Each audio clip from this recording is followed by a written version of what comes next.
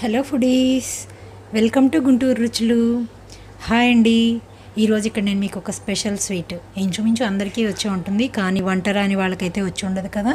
అంటే ఇప్పుడిప్పుడే నేర్చుకునే వాళ్ళకి బ్యాచిలర్స్కి స్వీట్ చేసుకోవాలనుకుంటే స్వీట్ షాప్ దగ్గరికి వెళ్ళి తీసుకొచ్చుకోవాలి అనుకునే అవసరం లేకుండా చాలా ఈజీగా ప్రిపేర్ చేసుకోవచ్చు అనమాట ఇది.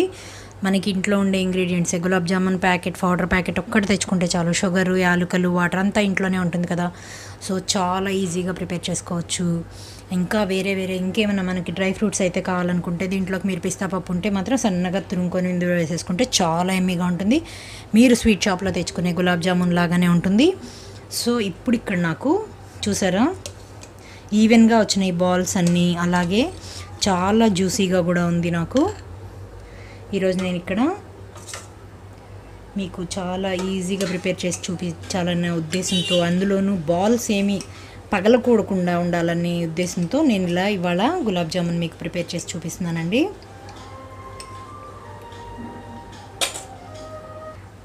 ఇక్కడ చూడండి చాలా సాఫ్ట్గా వచ్చింది. అలాగే నాకు ఎక్కడ కూడా బాల్ పగలకుండా ఒకటే కలర్లోకి వచ్చినాయి చూసారా?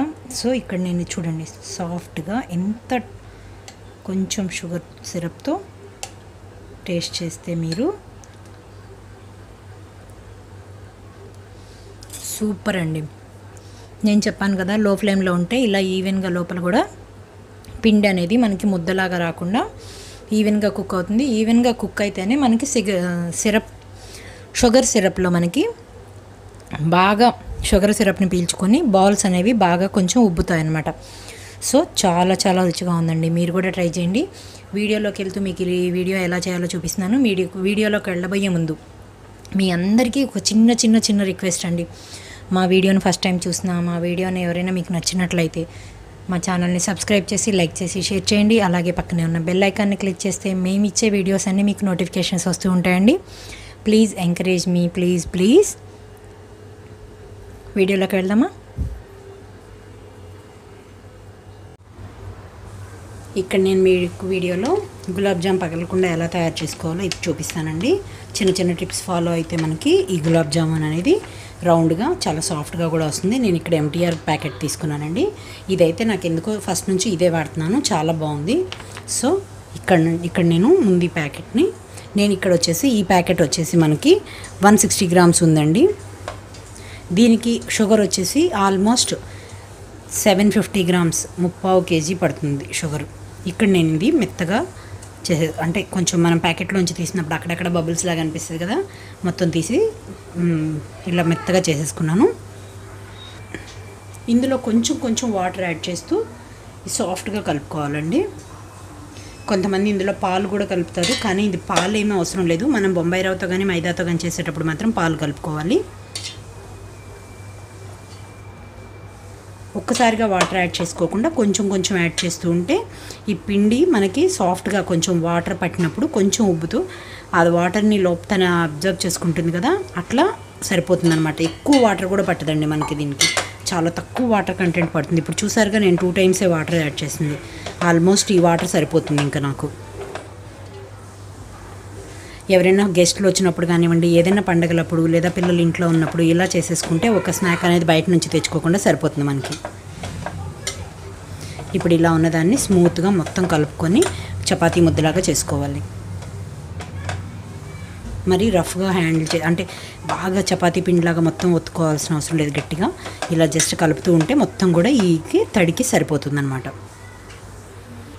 ఇక్కడ చూసారు కదా ఇలా మొత్తం కలుపుకున్నాను. ఇప్పుడు దీంట్లో ఒక్క స్పూన్ నెయ్యి వేసుకుంటే మనకి చేతికి అంటకుండా కూడా ఉంటుందండి పిండి. నెయ్యి వేసేసుకొని మొత్తం మనం ముద్దలాగా పెట్టుకొని చూస్తే ఇలా మనం ప్రెస్ చేస్తే గుంట పడేటట్లుగా ఇలా ఉంటే చాలు సాఫ్ట్గా పిండి. మనకి ఈ బాల్స్ అనేవి చక్కగా మనకి ఆయిల్లో వేయగానే చక్కగా ఉబ్బిపోతాయి. ఇప్పుడు ఇలా చేసిన దాన్ని ఈ పిండిని ఒక టెన్ మినిట్స్ పాటు నాననిస్తున్నాను.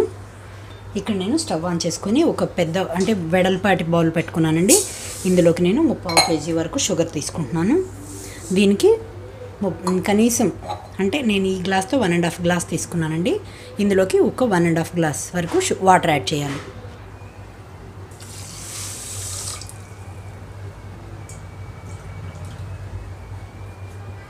దీంట్లో మనకి షుగర్ సిరప్ ఎక్కువే కాబట్టి వన్ అండ్ హాఫ్ గ్లాస్ పోస్తే సరిపోతుందండి. ఇక్కడ మనం లో ఫ్లేమ్లో ఉంచుకొని షుగర్ సిరప్ అనేది జస్ట్ మన చేతికి ఇలా పట్టుకుంటే రెండు అతుక్కుంటే చాలన్నమాట. అంతవరకు వస్తే సరిపోతుంది. ఇక్కడ నేను లో ఫ్లేమ్లోనే షుగర్ కరిగించుకుంటున్నానండి. ఇక్కడ నేను షుగర్ కరిగే లోపల ఒక ఐదు యాలుక్కాయలని కొంచెం మిక్సీలో వేసేసుకొని కానీ లేదా ఏదైనా చిన్న సుత్తితో కొట్టుకొని కానీ ఇందులో వేసేసుకొని నేను మిక్సీలో వేస్తున్నానండి. ఇలా మొత్తం పౌడర్ లాగా అయిపోయిందని ఇందులోకి యాడ్ చేస్తున్నాను.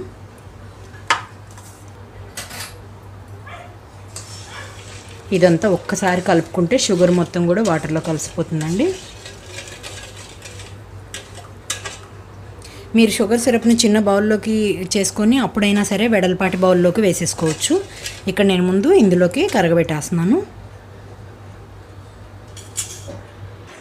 ఇక్కడ చూసారు కదా షుగర్ మొత్తం కరిగిపోయిందండి. ఇంకొక నిమిషం ఉంచుదాం ఇట్లానే మీడియం ఫ్లేమ్లోకి టర్న్ చేసుకుంటున్నాను స్టవ్ని.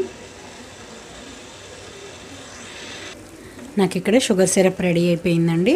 ఇక్కడ నేను ఇది స్టవ్ ఆఫ్ చేసుకొని ఇంకొక స్టవ్ మీదకి ఇది ట్రాన్స్ఫర్ చేసుకుంటున్నాను.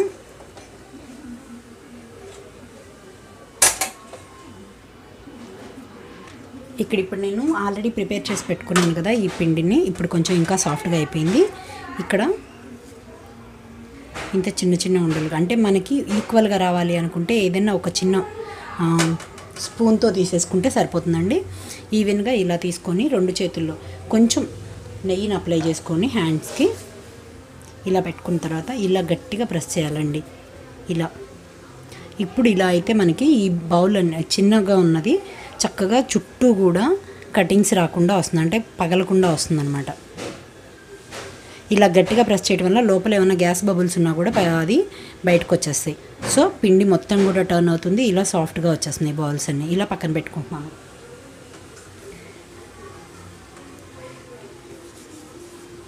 మీకు ఈక్వల్గా ఒకేలాగా రావాలి అనుకుంటే నేను ఒక స్పూన్తో మీకు మెజర్మెంట్స్ చూపిస్తానండి.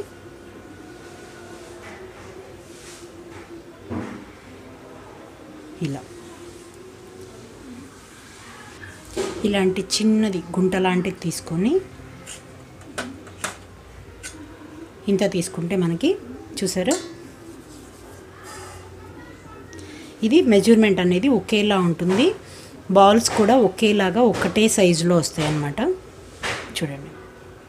సో ఇందాక నేను తీసుకున్నది కూడా అలాగే వచ్చింది. ఇప్పుడు అలాగే వస్తుంది. ఇలా తీసుకుంటే సరిపోని తీసుకుంటే కరెక్ట్గా ఆ స్పూన్కి సరిపడా అయితే మనకి బాల్స్ కూడా ఈక్వల్గా. మీరు ఇంకొంచెం పెద్దదిగా కావాలనుకుంటే ఇంకొంచెం పెద్ద స్పూన్ ఏదైనా తీసుకోండి. కానీ మనకి ఈ మెజర్మెంట్ సరిపోతుందండి. షుగర్లో వేసేసరికి మళ్ళీ ఇంకొంచెం మనకి కొంచెం ఉబ్బుతాయి కదా ఇలా. అన్నీ ఇలా చేసి పక్కన పెట్టుకోవాలి ఈ లోపల ఇక్కడ నేను పాన్ పెట్టుకున్నానండి. ఇందులోకి ఆయిల్ తీసుకుంటున్నాను. మీరు కావాలనుకుంటే సగం ఆయిల్ సగం నెయ్యి కూడా వాడచ్చు. నేనైతే ఇక్కడ పూర్తిగా ఆయిల్ తీసుకుంటున్నాను. సరిపోతుందండి. డీప్ ఫ్రైకి సరిపడా ఆయిల్ తీసుకోవాలి. ఇక్కడ మీడియం ఫ్లేమ్లో మాత్రమే హీట్ అవ్వనివ్వాలి ఆయిల్ని. ఎందుకంటే హై ఫ్లేమ్లో ఉంచితే మనం వేసినప్పుడు గులాబ్ జామ్ అనేది పైన అంతా రెడ్డిష్గా వస్తుంది. లోపలంతా కూడా పచ్చి ఉంటుందండి. అందువలన లో ఫ్లేమ్లో మీడియం ఫ్లేమ్లో ఉంచుకుంటే ఈవెన్గా కూడా ఆయిల్లో మనకి ఫ్రై అయిపోతాయి. ఇక్కడ ఆయిల్ హీట్ అయిందో లేదో చిన్న చిన్నది వేసి చూస్తున్నానండి.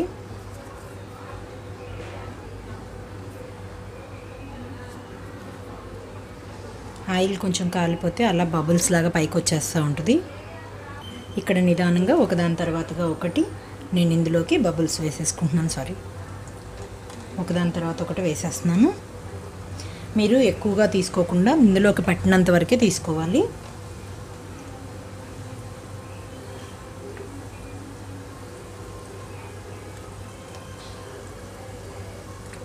ఈ బబుల్స్ వేసిన తర్వాత కూడా ఈ బాల్స్ వేసిన తర్వాత మనం హై ఫ్లేమ్లోకి అయితే టర్న్ చేసుకోవద్దండి. లో ఫ్లేమ్ మీడియం ఫ్లేమ్లోనే ఉంచితే ఇలా పైకి వచ్చేస్తూ ఉంటాయి.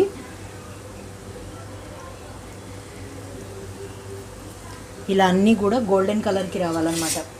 ఈ గోల్డెన్ కలర్ లోపల కూడా ఈవెన్గా లో ఇప్పుడు నేను కొంచెం లో ఫ్లేమ్లోకి టర్న్ చేస్తున్నాను స్టవ్ని. ఎందుకంటే లోపల కూడా ఈవెన్గా కుక్ అవ్వాలి కదా అందుకోసం అనమాట ఇలా ఒకసారి టర్న్ చేసిన తర్వాత స్టవ్ని లో ఫ్లేమ్లో ఉంచేసుకుంటున్నాను. చూసారు కదా మనం చేసిన కన్నా కొంచెం ఇందులో ఆయిల్లో వేయగానే కొంచెం అది బబుల్స్ కూడా ఉబ్బినాయి ఎక్కడ మనకి పగుళ్ళు అనేది రాలేదు. ఇలాగే కొంచెం ఇంకా గోల్డెన్ కలర్కి రావాలి. కొంచెం లో లో అంటే లోపలంతా కూడా లో ఫ్లేమ్లో ఉంచడం వల్ల లోపలంతా ఈవెన్గా కుక్ అయిపోతుందండి. మనకి పిండి పిండిగా అనిపించకుండా ఉంటుంది. పిండి పిండిగా ఉంటే గులాబ్ జామ్ అస్సలు రుచిగా ఉండదండి. పిల్లలు కూడా పెద్దగా ఇష్టపడరు. ఇలా ఇలా లో ఫ్లేమ్లో ఉంచడం వల్ల ఈవెన్గా కుక్ అవుతుంది లోపల కూడా రుచిగా ఉంటుంది. ఆయిల్లో వేసిన తర్వాత ఇలా అంటూ ఉంటే మనకి రౌండ్గా తిరుగుతూ ఉంటాయి. ఎందుకంటే ఇవి బాల్స్ కదా మనం తిరగ తిప్పాలనుకున్నా కూడా మళ్ళీ అవి రౌండ్గా తిరుగుతూ ఉంటాయి. ఎటువైపున మనకు కాలుతుందో కూడా తెలియదు అనమాట సో ఇలా కొంచెం పైనుంచి గరిటతో ఇలా అంటే అవి కింద రౌండ్గా తిరుగుతూ ఈవెన్గా చుట్టుపక్కల అంతా కూడా ఒకటే కలర్లోకి కూడా వచ్చేస్తుంది.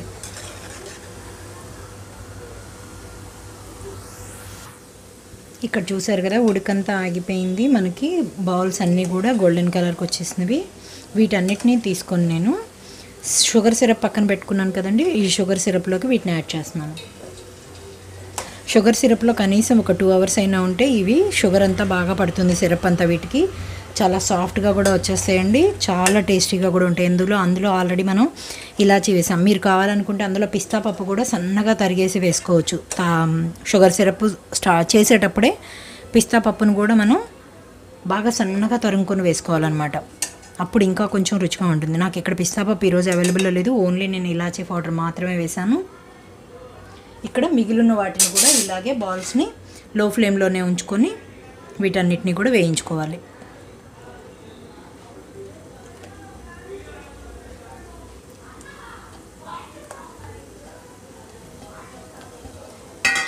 ఇక్కడ నాకు almost thirty five thirty six వరకు వచ్చినాయండి బాల్స్. ఇవి చూసారు కదా మొత్తం కూడా పైకి వచ్చేస్తుంది ఈవెన్గా మళ్ళీ మనం ఏమీ కదిలించాల్సిన అవసరం లేదు. వీటన్నిటిని లో ఫ్లేమ్లోనే గోల్డెన్ కలర్కి వచ్చే వరకు మళ్ళీ మనం వేయించుకోవాలి. ఈవెన్గా ఒకటే బాల్స్ బాల్స్ అన్నీ ఒకటే సైజులో ఉన్నాయి చూసారా?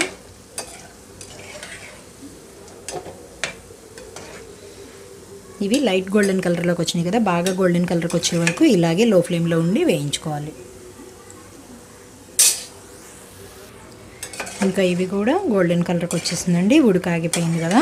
వీటిని కూడా తీసేసుకొని నేను సిగర్ షరప్లోకి వేసేసుకుంటున్నాను. ఇక్కడ అన్నీ చూసారు కదా మొత్తం. ముందు నేను వేసినవి కొంచెం పైకి ఉబ్బినట్లుగా అయిపోయినాయి. వీటిని కూడా యాడ్ చేశాను కదా ఇప్పుడు. వీటిని కదిలించకుండా ఒక టూ అవర్స్ పాటు ఉంచితే ఈ షుగర్ ఈ షుగర్ సిరప్ వీటికి బాగా పడుతుందండి. సో వీటిని నేను ఇలాగే ఉంచేసి ఒక టూ అవర్స్ పాటు మూత పెట్టేసి ఉంచుతున్నాను. తర్వాత సర్వ్ చేసుకుంటే చాలా సాఫ్ట్గా ఉంటుంది బాల్స్ కూడా. Finally gulab jamun balls ready అండి. మీరు కూడా ట్రై చేయండి. చాలా ఈజీగా అయిపోయే ప్రాసెస్. ఇది మనకి ఎక్కువసేపు ఏం పట్టదు. షుగర్ సిరప్ అనేది పాకం రాని పాకం అనే అవసరమే లేదు కాబట్టి చాలా తొందరగా అయిపోతుంది. వంట రాని వాళ్ళకి కూడా ఇది ఈజీగా చేసేసుకునే స్వీట్ అండి. పండగలకి లేదా ఎవరైనా గెస్ట్లు వచ్చినప్పుడు చాలా ఈజీగా చేసేసుకోవచ్చు. ముందు రోజు మీరు చేసి పెట్టుకున్న ఫ్రిడ్జ్లో మీకు ఇది త్రీ డేస్ పాటు చాలా బాగుంటుంది. త్రీ చాలా కూల్గాను సాఫ్ట్గాను ఉంటుంది. ఫ్రిడ్జ్లో పెట్టుకుంటే త్రీ డేస్ పాటు ఉంటుందండి. బయట అయితే టూ డేస్ మీకు అలాగే ఉంటుంది. ఏం ప్రాబ్లం ఉండదు.